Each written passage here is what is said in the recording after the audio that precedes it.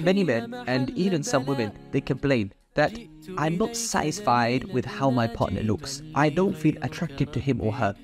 Now, firstly, we know that before marriage, Islam encourages that we look at a potential partner. Why?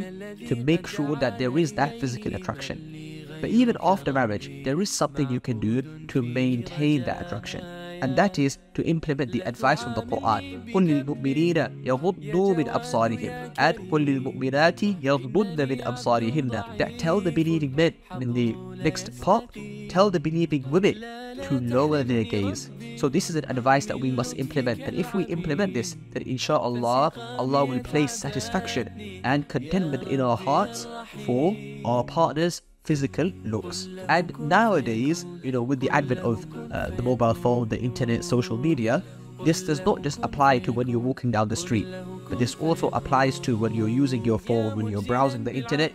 Make sure you do not look at the opposite gender unnecessarily, and in all circumstances, avoid looking at the satar.